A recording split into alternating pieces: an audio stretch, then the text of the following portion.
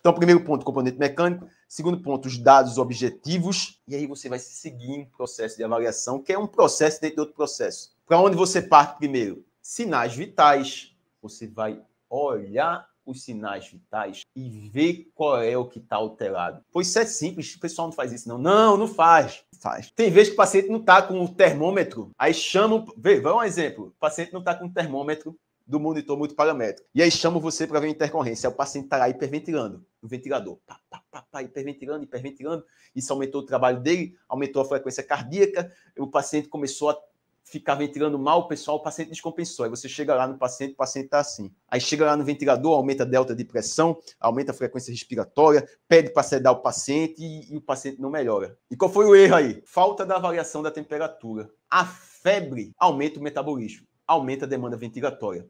Paciente em ventilação mecânica, quando está com febre, hiperventila. Quando ele hiperventila, vai causar essas alterações do ventilador. Aí o paciente está fazendo 20 litros por minuto, hiperventilando, e o pessoal está tentando corrigir, aumentando delta de pressão e sedando o paciente, onde a causa é febre. E por que não seguir um processo de avaliar os sinais vitais? Então, tem que ir lá avaliar os sinais vitais. Avaliar os sinais vitais e ver quais são os alterados. Então, é frequência cardíaca, pressão arterial, temperatura, frequência respiratória. Saturação não é um sinal vital, mas a gente utiliza como fosse um então, vai medir a saturação periférica de O2 também e vai ver o que é que está alterado, porque isso vai ajudar na sua tomada de decisão. Viu os componentes mecânicos, viu os sinais de... É, e eu estou dizendo isso que parece que está demorado aqui, está quase.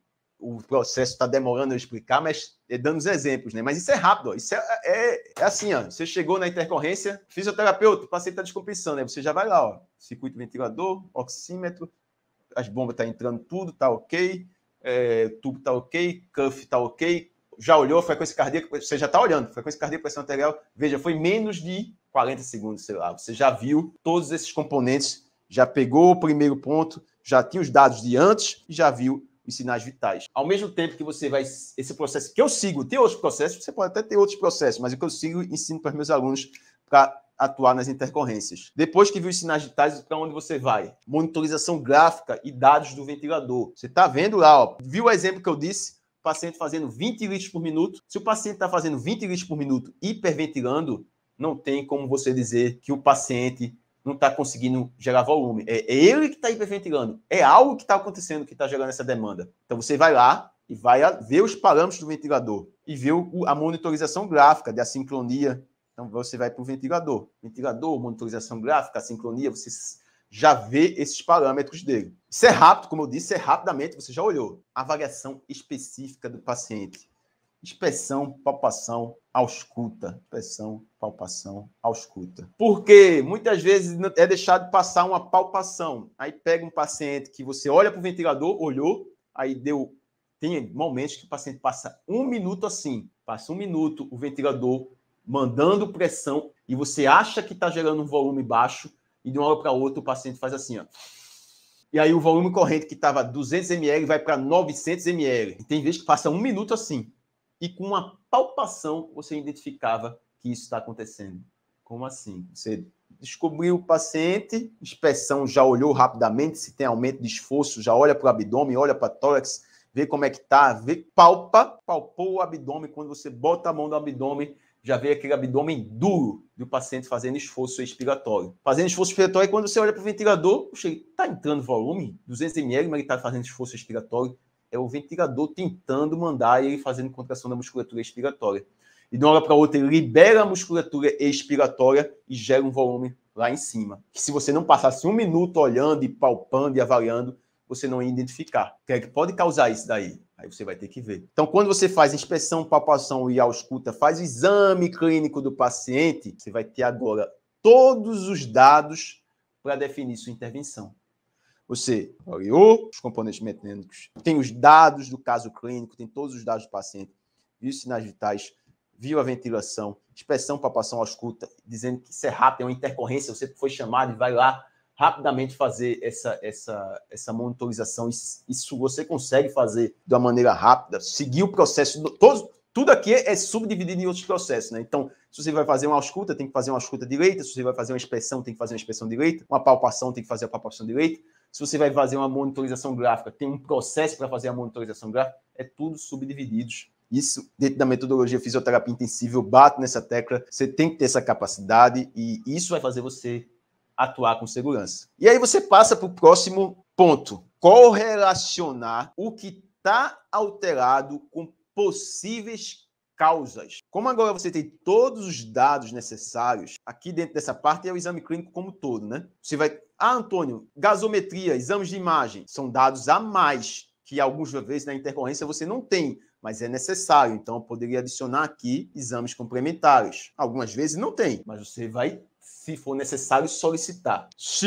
Chegou a, a partir daqui, você vai correlacionar com a causa. Causa. O que pode estar gerando essa queda de saturação? O que pode estar gerando essa hiperventilação? O que pode estar gerando essa descompensação com aumento da frequência cardíaca? Você já tem todos os dados. Então você sabe a história clínica do paciente, sabe qual é o sinal que está alterado, sabe o que está alterado na ventilação, o que está alterado na ausculta, o que está alterado no exame de imagem, o que está alterado na gasometria.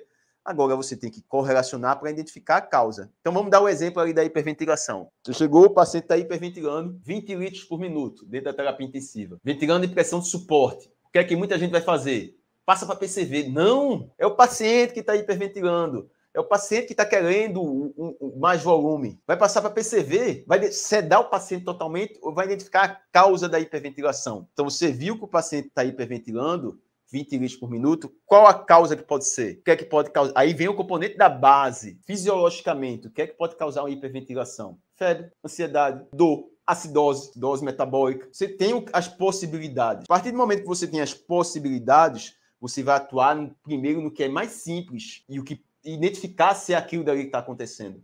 Então, se você viu que o paciente está hiperventilando e não está com a temperatura sendo medida, que era para ter sido visto antes, aí é febre.